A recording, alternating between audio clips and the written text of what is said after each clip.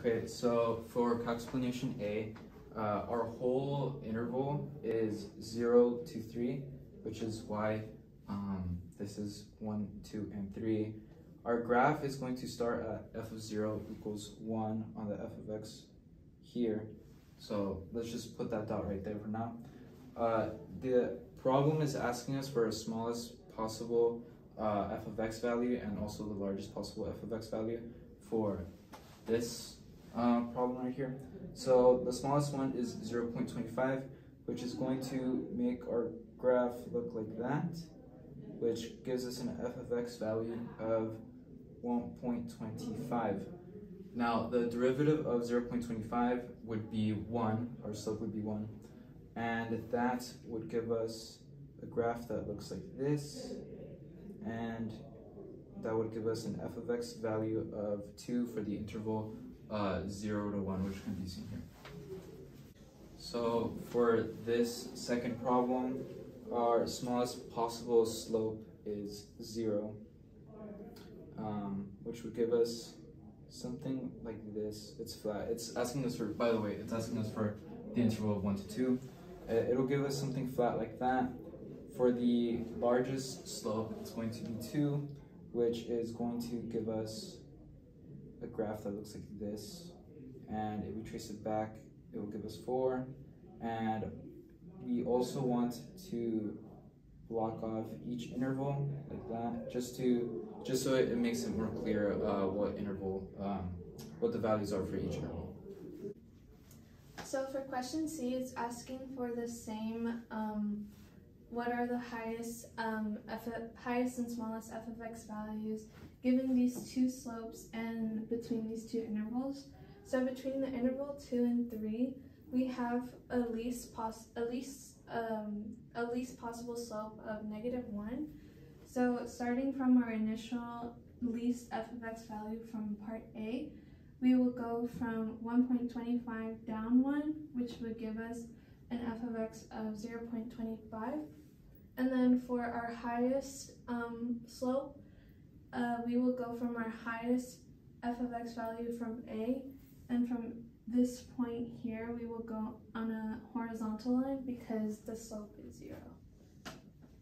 So for the last question, C, it's asking the same thing um, of given the, the smallest possible slope and the largest possible slope, which is the derivative of the slope, um, what are the largest f of x values between these two intervals, 2 and 3?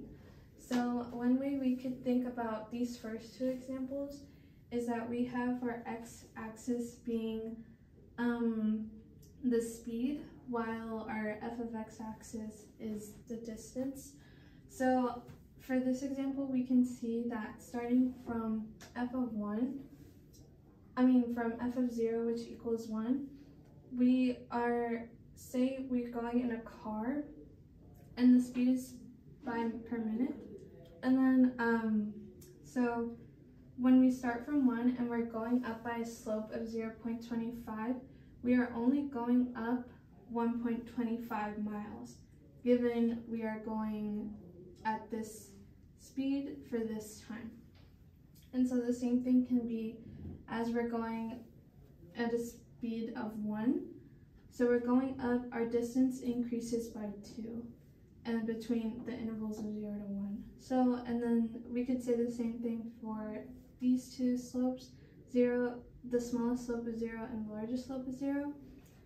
Starting from this speed where we left off, if we go up by the largest possible slope, which is 2, we will go up 4 miles and then our distance would be, that would be how much we're going, um, the distance we're going between these two in um, units of time.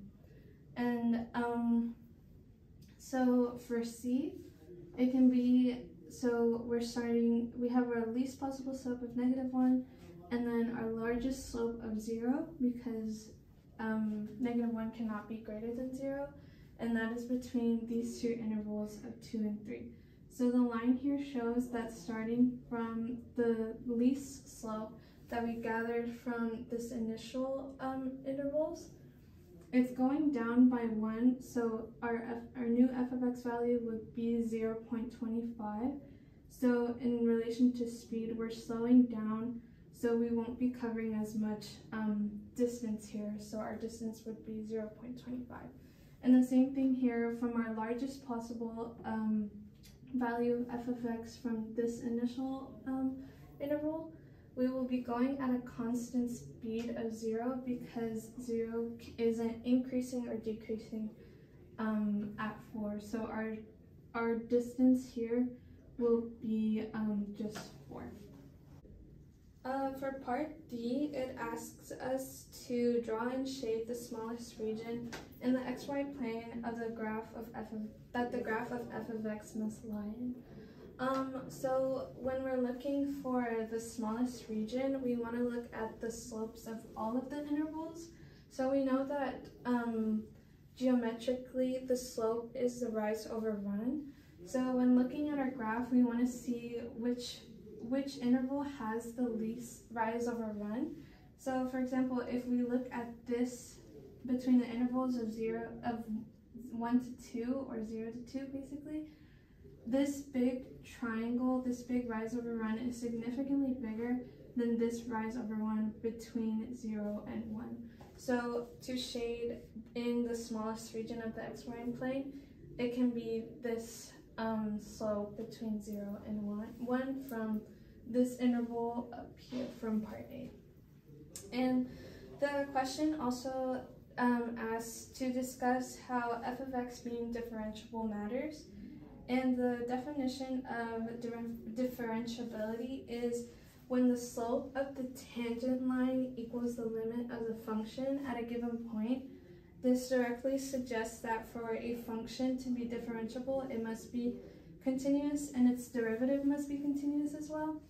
So for example, we started our initial, from part A, we started from the given um, f of 0 equals 1 and we went up from our least possible slope of to 1.25 and then from our largest possible slope of 1 which equaled 2 and so then for our second part from our with our largest possible slope we carried on from this large f of x value from part A to go up by 2 which gave us our another f of x value of 4 so it is um, it is important because we started from the previous slope of previous large f of x value of these two intervals and we carried on from the previous intervals all throughout these three um, situations. So it wouldn't be the same if we started from from f of from 1 with this large slope because it would 1 to by 2 would just be 3. So that's why we need differentiability because we need the we want the derivative to be continuous as well.